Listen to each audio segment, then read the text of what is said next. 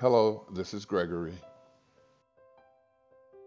After reviewing the VaxLB um, design and protocols on vaccinating the city and reviewing the various tier structure, pastors and faith leaders realized that we weren't on any of the tiers.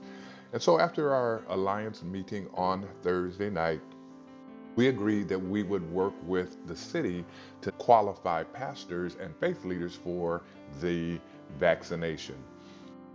So, after speaking with Sharon Jackson of the Long Beach Center for Economic Inclusion and the team on the Vaccine Equity and Outreach Commission or Subcommittee, um, they agreed that it is important for our faith leaders to be part of uh, moving um, the vaccination process forward. So the Alliance um, gave me marching orders, and on Saturday morning, I jumped up and headed over to the Long Beach Health Department. I am out at the Long Beach Health Department. You can't see the name really.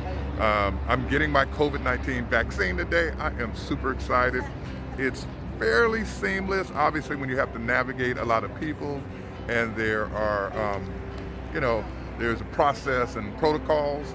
Um, the only thing is, you just want to, you know, exercise a little bit of patience, but it's moving fluidly, um, or well, you know, organized and getting up and getting out is going to be easy. So I'm in line now. I haven't had my injection yet, but you know, I want to encourage everybody to consider, you know, um, getting vaccinated. We got to get this virus under control.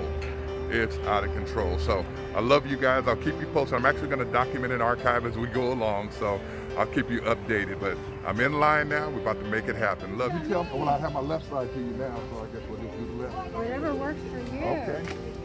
Oh, Oh my gosh, you got a formal uh, videographer with you? well, you know. Hi, everyone. Hi. Good morning. Gregory, how are you feeling today? I today? feel great. Good, good. Uh, no uh, symptoms of a cold or flu today? None. Okay. Have you ever had a situation where you had allergic reaction that required you to get hospitalized? None. Okay. Never. And have you had any vaccines at all in the past two weeks?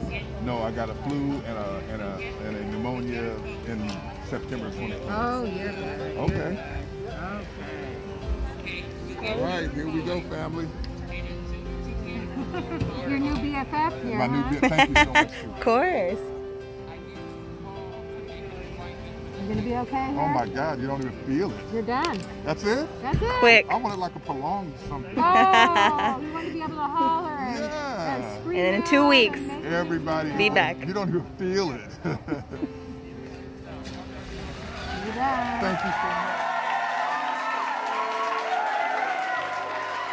Your pastors and faith leaders are excited, and it looks like the city is going to create a way for us to be part of the process and, and everyone, all of us get vaccinated.